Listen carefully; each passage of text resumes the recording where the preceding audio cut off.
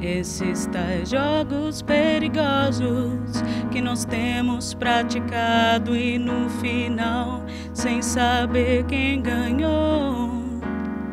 Você parece o maestro orquestrando um império. Nesse jogo, quem eu sou, quem eu sou.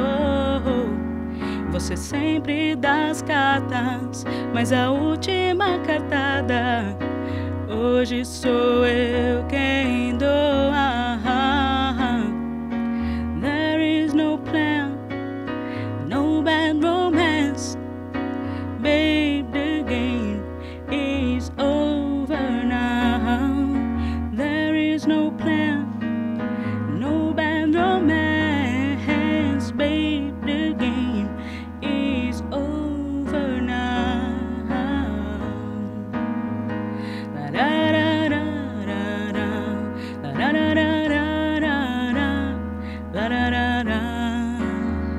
E o teu castelo de cartas vai cair feito água antes do dia acabar.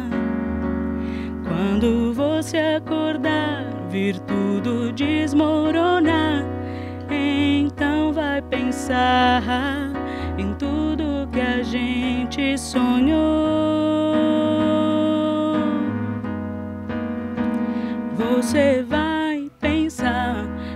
Que a gente sonhou. E quando o dia raiar, tudo vai se explicar. Você vai voltar pra onde começou.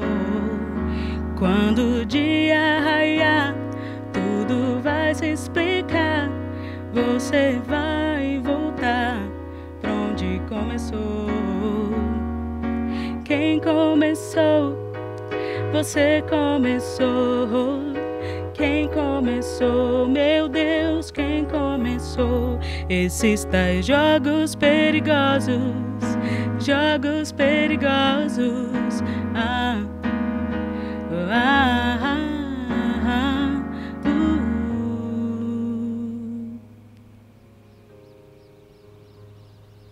Oi, eu sou a Juliana Galdeano, eu sou cantora e compositora. Na infância mesmo eu comecei a tocar piano, teclado, como autodidata mesmo, principalmente repertório erudito. Fazia algumas composições eruditas, mas assim, mais na brincadeira, né? Quando eu tinha uns 12 anos, eu fiquei com uma música na cabeça e eu não sabia que música que era, não conseguia me lembrar e comecei a encher o saco de todo mundo, perguntar as pessoas conheciam até que, tipo, no final do dia, minha irmã virou para mim, a Marcela, e falou: Olha, Ju, acho que você está compondo. E aí ela veio e compôs essa primeira música comigo. E a partir daí eu comecei a compor praticamente todo dia, né? Eu compunha muito, muito, muito, né? Hoje eu já tenho mais de mil composições, como era autodidata, né? Eu tinha a necessidade de ter uma teoria musical. Depois estudei um pouco de piano, e aí estudei um pouco de harmonia e isso foi bem legal também, no sentido de eu ter mais independência, não depender de repente de outros músicos para fazer o arranjo para mim. Hoje eu tenho total controle do meu processo produtivo musical. Jogos Perigosos é uma canção que fala sobre relações de poder. Então, isso pode se dar em uma esfera política, dentro de um relacionamento amoroso, numa empresa, você escolhe mas basicamente fala sobre uma relação de poder que mudou de polo. Então, uma canção que algumas pessoas também associam com empoderamento uh, e com liberdade.